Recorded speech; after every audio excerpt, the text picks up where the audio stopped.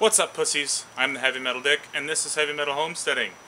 It's recently come to my attention that there is a gross quantity of people, young people especially, my generation, that have no fucking idea how to handle their own lives. Um, especially basic maintenance of shit. So, and basic life skills. So I'm gonna start doing some just basic life skill stuff. So today, we're gonna change the oil on my girlfriend's truck. So the first thing you want to do is go in and find your uh, hood release under your dash. Get your trunk open. Or your hood, rather, open. Or your bonnet if you're fucking in the UK or Australia or wherever else they say bonnet. Okay, then you're going to need a couple of tools. You're going to need some sort of oil filter wrench. I usually like the strap type, but I can't fucking find mine right now, so I'm using this piece of shit. You're going to need whatever socket size you require um, for your uh, drip, your oil pan drain plug is the fucking word I'm looking for. You're going to need an oil drip pan. You're going to need the applicable oil for your vehicle, which you can find in your owner's manual. And you're going to need an oil filter. Uh, you should be able to find that in your owner's manual as well. Uh, most uh, hardware stores, uh, anywhere that sells this kind of shit will have a little fucking computer or book where you can look up the year, make, model of your vehicle, um, and it'll tell you exactly which filter or which couple of filters that you can get. So yeah, the first thing we're going to do is we're going to get uh, under the truck. If you drive a smaller vehicle, uh, you might want to put your vehicle up on ramps or whatever, but uh, this thing has enough ground clearance that it can fit even my big heavy metal ass under there. So we're going to get under the truck. Oh, one other thing you're going to need. You're going to need a light of some sort, whether it's just a, a flashlight or a headlamp. Uh, lights are important because you need to be able to see what the fuck you're doing under there. Unless it's a really, really bright sunny day, then you can probably get away without a light. So we're going to crawl under there right now, and we're going to go over the next step. Alright folks, so here we are under the truck. Please excuse the shaky video because I am holding onto the camera. What you want to do is you want to find your oil pan, uh, which can, oh fuck, that's something you don't want to do. Uh, which will usually be easily recognizable um, by being some big blocky something or other bolted to the bottom of the motor. Those are the mounts right there, the bolts rather that mount it to the motor. Um, and it will also have a drain plug of sorts. Um, and that yellow bit that you're seeing is um, is a high heat fucking gasket to uh, to make sure there's a seal. A lot of vehicles will have a brass washer instead, um, so don't panic if there isn't some sort of rubber thing on there. Okay, so the first real step of doing your oil change is to get fuck not drop your wrench in your fucking drip pan every 10 seconds. Get your wrench on on your drain cap. You're just going to turn it counterclockwise. Okay, righty tighty lefties. You might want to wear gloves for this because you are going to get oil all over your fucking hands. You'll see why in just a second. It's also a good idea to not have your motor super hot when you're doing this. Okay, and there we have it. There's the oil draining out of the motor. Don't fucking drop your plug in there. You're going to have to go fishing around uh, and get even more oil on your hands to get it out. You can't put this back together without that. That's what holds your oil in your motor. Okay, so get that out of there. Put that aside. Don't get it in the dirt or the mud or whatever because that shit will end up in your motor. It'll cause all kinds of fucking problems. So set that aside somewhere safe and we're going to go up into the engine bay and do the next step. Alright, so here we are in the engine bay, and uh, here's a little pro tip for you to keep your drain cap out of shit. Just take the lid off your, uh, your oil bottle and just drop your drain cap in there so that it doesn't end up wherever in whatever. Okay, so now we're going to need to locate our oil filter.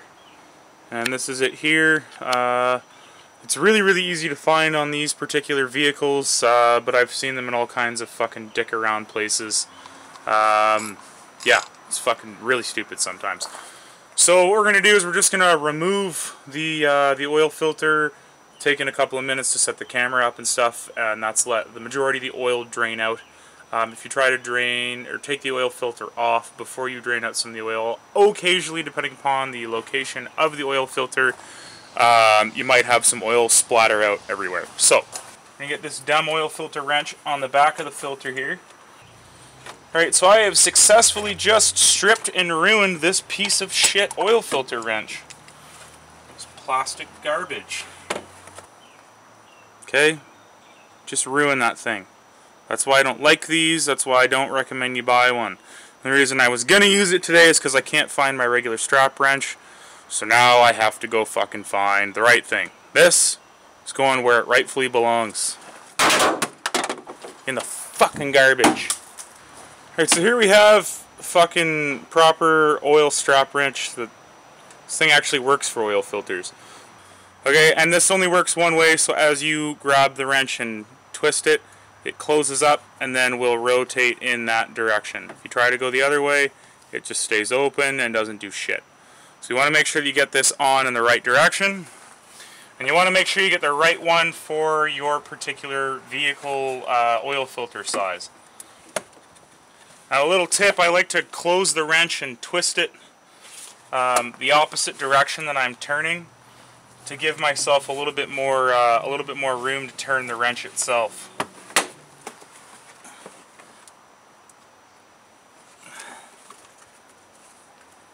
Okay, so there it is turning little by little. Pretty standard for Japanese vehicles, not having a lot of space to turn the fucking wrench. Okay, there we have it. Filter is loose. And there you can see, hopefully, there's some oil that has come out of the filter.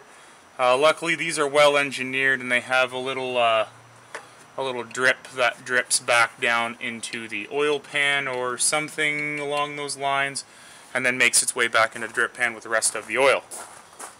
So now this time we are going to uh, just grab some paper towel quickly or shop rags or whatever you've got and I like to just wipe down the excess dirty oil. We don't need to clean it right right off, just get the shitty black oil off. And then your new filter, ta-da, fresh out of the box. What you want to do is you want to just get, again, you might want to wear gloves for this if you don't like touching oil or whatever. Um, just put a little splash right there around that, rub that in, get a tiny little bit on the gasket, and then get some in on the threads as best you can as well. Um, the, the oil on the threads is going to help you uh, get your oil filter off next time easier. As you can see, especially with a vehicle like this where there isn't a lot of room to turn your wrench around, sometimes it can be a bit of a pain in the ass. So uh, make sure you do that. And then the little bit of oil on the gasket there is just to, uh, to help it create a seal when you put it on. Uh, and the oil around here, I'm not really truly fucking sure what the hell that does, but every mechanic buddy I've ever had help me change an oil filter always does that. So maybe if you know what the fuck's going on, you can uh, clear that up for me in the comments section and for everybody else watching as well. And fire us a like while you're at it. So we're just going to get this on here, screw it down. Now this doesn't have to be on rocketing fucking tight, okay? A lot of people are terrified that it's going to leak and shit. Um, but it really won't. Just slightly more than a hand tight is good enough. I shouldn't say it's good enough. It's it's it's all you need. Okay. So just give a couple quick turns with the filter wrench. That's it. That's all we need. Okay. Good to go. Filter is on. Um, and now what we're going to do is we're going to go back down underneath the truck and we're going to put our drain cap back in and make sure that uh, all of the oil has finished draining out. Alright, so here we are, as you can see, um, little tiny bits of drip are coming out of the, uh, of the oil drain. If you've got really, really gnarly, dirty oil, it's not a terrible idea to run a little bit of clean oil to flush out some of that extra sediment and gross uh, bullshit, but because uh, we're pretty good about uh, about changing the oil on this thing. Um, I should have shown you the dipstick before we started, but it's not totally totally black um, because it gets driven so much. we always make sure that it gets changed um, well before it's actually due. So we're good to leave that little bit of, uh, of dirty stuff in there. The filter will pick most of that up. Um, but if you're a little bit late, it's a good idea to let all that drip out and or um, to flush it with a little bit of clean oil. So now all we're going to do is we're going to grab our drain plug. We're just going to gently thread that back in there. The same wrench that we've already dropped in the oil pan about 25 times. I'm just going to push the oil pan out of the way so if I drop this wrench again it doesn't end up in the oil pan yet again. And we're just going to tighten that down. Uh, and again, it doesn't need to be super, super silly tight. Just fucking a little bit more than hand tight and you're good to go. And then that's it folks, all we gotta do is fucking top off the oil and we are finito. Okay, so now we're back up into the uh, into the engine bay. Earlier I told you to check your owner's manual for um, what your oil is supposed to be. And the reason I do that is because oftentimes the owner's manual will say something different than what the oil cap says. So as this is a perfect example of this. Um, your oil cap, which by the way, your dipstick and your oil cap are two different things. When you're filling your oil, you want to fill through the oil cap, okay? So this says uh, 5W30, which is just a pretty standard regular oil. However, the owner's manual states 0W20, which is what we've been using. Uh, it's been working well. We've had uh, zero mechanical issues until recently, and it was something that's uh, a wear part anyways. Why fuck with a good thing, right? Also, when you check what uh, what weight your oil is, it will tell you uh, how much oil your motor needs. And a lot of companies nowadays um, if there's a multitude of different engine sizes or um, types or whatever, you need to know which motor your particular vehicle has. So these particular trucks, uh, they come with, uh, I think it's a 2.8 liter uh, inline 4, or they come in a 4 liter V6, if I recall correctly, or 3 liter V6. I don't remember what the fuck it actually is, but this is the this is the V6 motor um, and it uh, it uses five five liters of oil. So here I've got uh, 4.4 liters, and then I have another smaller jug um, that I will measure out the remaining 600 mils that I need. And if I don't have 600 mils in here, I have another jug that's also left over from, you know, the remainder of whatever I needed from the last time I did an oil change.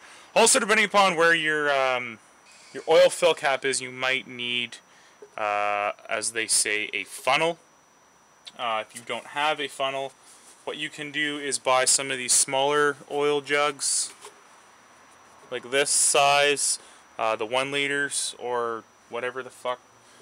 Probably, oh no, it is actually a liter. Um, so here what I'm going to do is I'm just going to check, and along the side here, if you're not aware, there's a little gauge. You can see the oil moving up and down in there. Um, that'll tell you how much oil is in that bottle. So this is 500 milliliters and I need 5 liters and I've got 4.4 plus 5. So what I'm going to do here is I'm going to dump this in.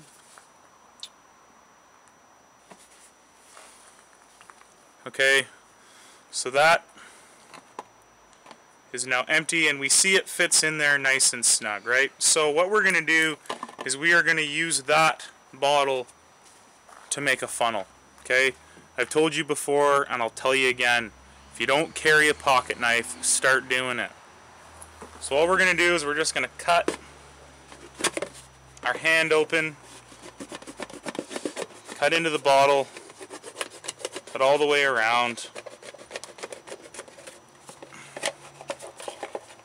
Okay, until she cuts right half into. Don't get oil on your battery. Joe has a funnel, man. Pretty cool, huh? Normally I wouldn't do that right over the engine bay, but I wanted to do it on the camera, and the camera is pointed at the engine bay. Um, that was stupid. So before you get all fucking angry in the comments and call me a moron, oh, actually, you know what? Fucking go for it. I don't give a shit. Call me a moron all you want. So now we're just going to go ahead and we're going to dump another 4.4 liters in here. And now we need another 100 milliliters. Okay, so this jug's going to be really hard to tell um, to measure 100 mils out of. So what I'm going to do is I'm going to take the bottom um, of this one, 100 mils is right there, and we're just going to, I'm going to do this off camera so I don't spill fucking oil over the battery again. And we're just going to measure it right up to there, get our 100 mils, and then we'll dump it in. Okay, so there we have our 100 mils that we need. Just going to fire that right in there. Take that off of there. Put our oil cap back on. One more pro tip. So now you've got this big fucking drip pan full of dirty oil. What do you do with it? You have an empty oil can right here. And when you buy your uh, your drip pan, make sure you get one that's got a good spout on it. You're just gonna put that spout right in your uh, right in the jug you just dumped your clean oil out of and dump it in there. Now don't forget, that's a 1 point, or 4.4 gallon capacity jug, and I have approximately 5 liters.